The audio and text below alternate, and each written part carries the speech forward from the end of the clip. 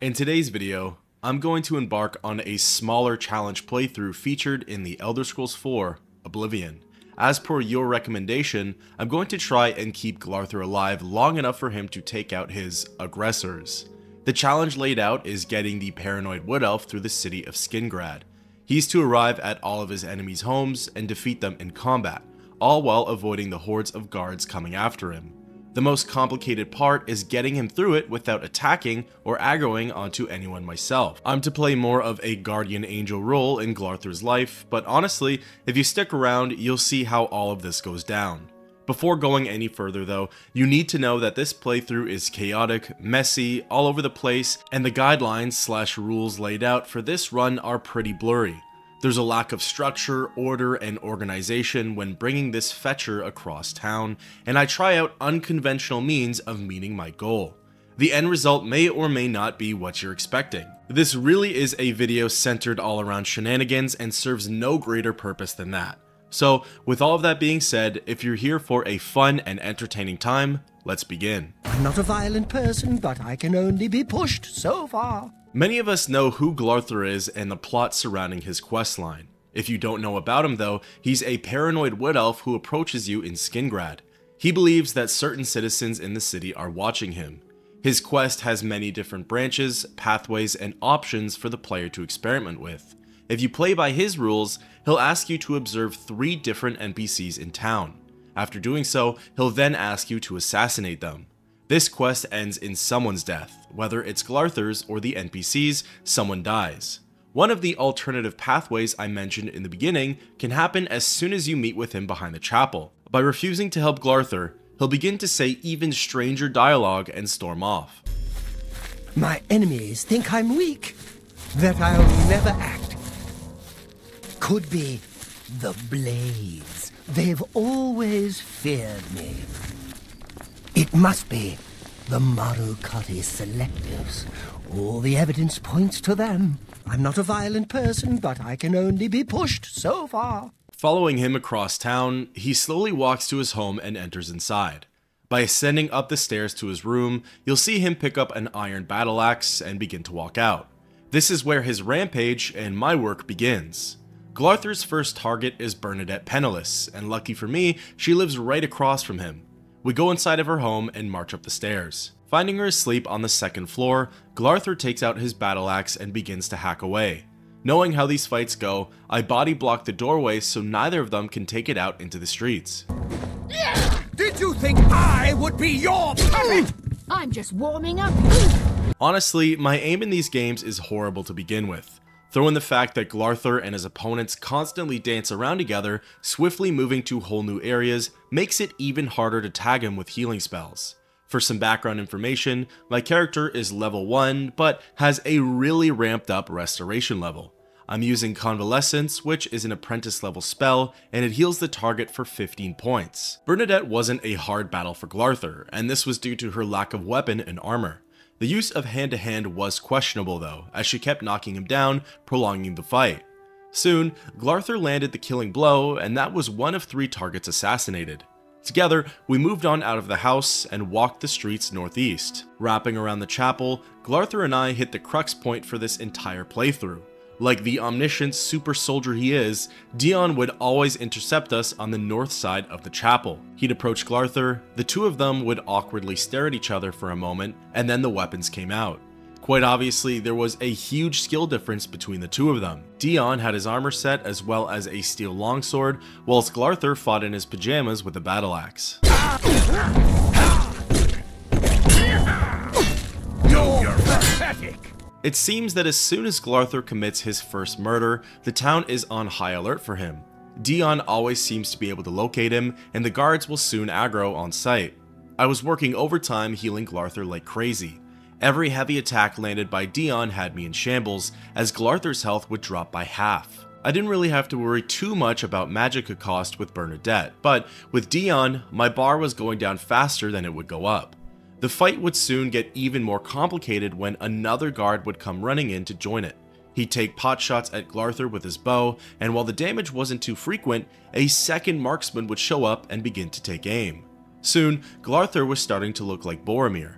The fight was soon determined though when one of the guards decided to rush in with his sword. With a few swings from both him and Dion, Glarthir was killed. Not all hope was lost though, as Glarthir managed to take Dion out with him, showing me that there was some potential here. For fun, I resurrected Glarthir just to see how the guards would react, and to see if he would continue on his mission. This idea didn't really work though, so I reverted back to just after Bernadette's death. Trying again, Dion met us at the exact same point, and the two of them duked it out. Sure enough, the archers showed up as well and started to litter Glarthir with arrows. Fortunately, he was able to kill Dion this time. I was unsure of how this was going to play out next though, and to my dismay, he rushed right into the archers and began swinging. A third town guard came out of nowhere, and together, all three of them cut down Glarthir in the streets. For this next try, I tested out using Superior Convalescence, which heals my target for 20 points for 4 seconds. It's an expert level spell and is equally useful as it is magicka hungry. Dion met us at what I'm coining as Dion's Pass, and the battle began. If you watched my Arena Challenge playthrough, you'll know that I had better luck using lower level casts and spells. The higher level ones sapped up too much of my magicka, and I was pretty much dealing with the exact same problem here. For healing, it's better to be reactive rather than proactive. Dion would hit Glarthir too frequently, and I wasn't able to keep up with the demands. Switching back to the regular convalescent spell, it was a lot easier to manage and heal Glarthir. At this point, he was able to kill Dion no problem, but the part he just couldn't get past was the twin archers, just at the edge of Dion's pass. Glarthir would get in too close, they would take out their swords and overwhelm him with their attacks. At this point, I really started to ramp up with my Guardian Angel role. For curiosity's sake, I spawned in some lowly bandits and hoped that they would either kill Dion or distract the whole town guard. Dion was way too strong for the bandit though and slew him with one hit. The same went for a bandit hedge wizard, so I decided to spawn in a whole bunch of bandit bowmen. Most of them aggroed onto Dion, and it seemed like my plan was working perfectly. That was until Dion specifically targeted Glarthir and killed him amongst the chaos. Trying it out with 10 bowmen, the fight was even more messy and disorganized, and I decided to scrap the idea of spawns altogether. For this next try, I was sort of onto something, but there was a fundamental issue with it. I gave myself the spell of Disintegrate Weapon and began casting it on Dion. It worked well and his sword broke, rendering him mostly defenseless. The problem though was that this spell was a part of the Destruction School, so it did count as aggroing slash attacking an NPC for Glarthir.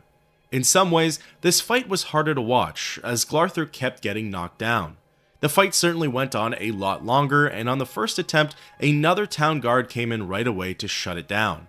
On the second try, I incorporated Disintegrate Armor into the mix. It was a little hard to tell how much of an effect it was actually having, and to be honest, my time and effort spent doing that meant I wasn't able to heal the Wood Elf.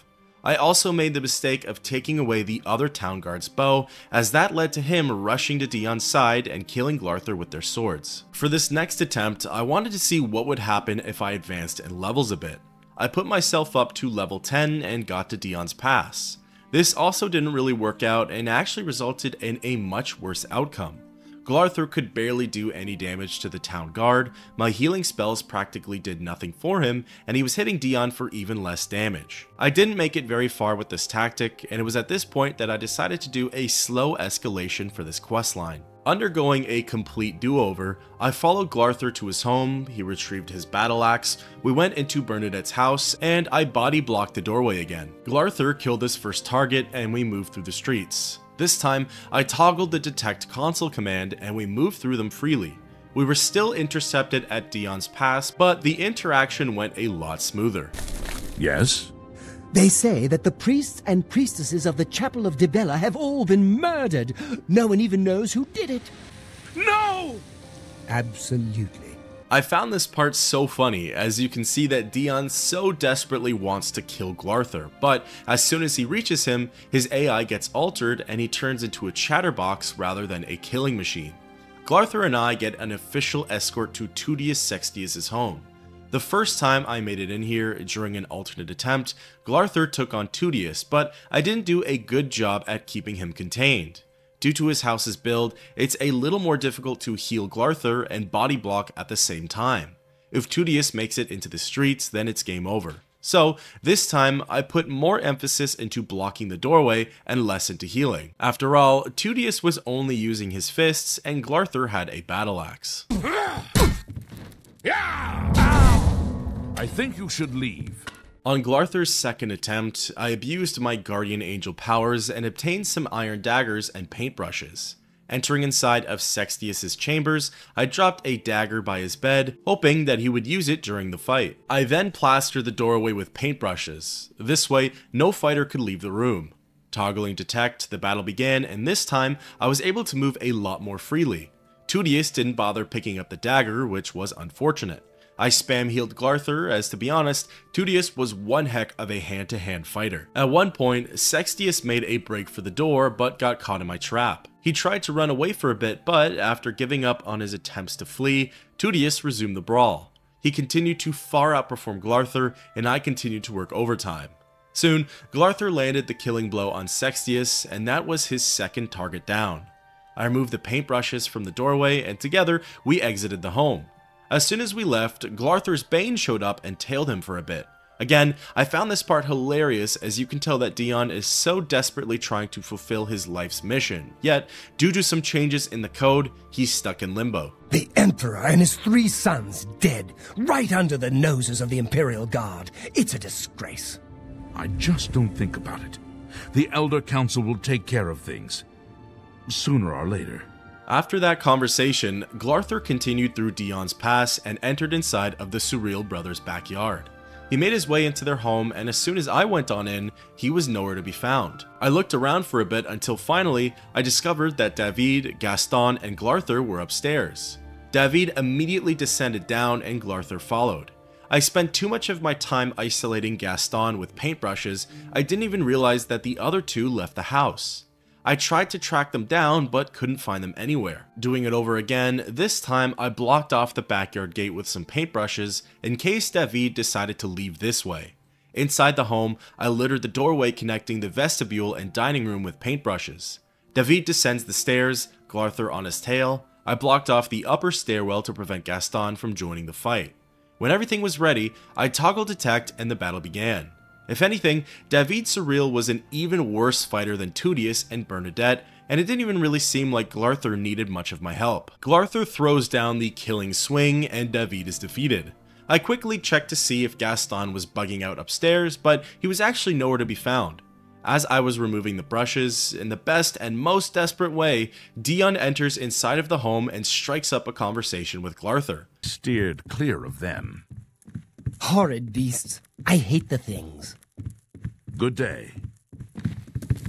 David's corpse clearly behind us, and Glarthir's axe bloodied, he acts like nothing happened, and I absolutely loved it. The conversation ends and the two men go on their way. With AI detection still off, I followed Glarthir around for a bit to see what he would do.